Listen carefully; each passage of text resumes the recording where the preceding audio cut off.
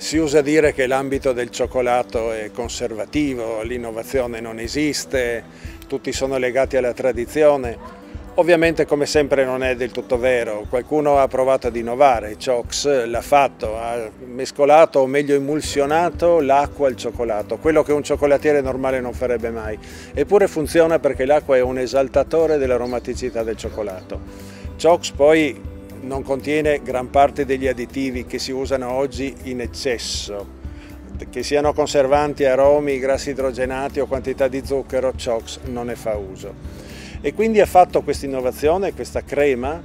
ma adesso ne ha aggiunto un'altra di innovazione che è un sistema di pastorizzazione ad alta temperatura per pochissimo tempo che ha concesso a Chox, che è un prodotto da frigorifero e conservato sotto vuoto, di arrivare a temperatura ambiente. E quindi è uscito in questi giorni attraverso la distribuzione di Yolanda De Colò un prodotto in Tetra Pak, questo, che è un intermedio di lavorazione, dura un anno, può stare a temperatura ambiente, bisogna solo decidere di provarlo, cominciare a utilizzarlo, inventare nuove strade, raccontarle, condividerle e poi scopriremo che l'innovazione anche nel cioccolato esiste.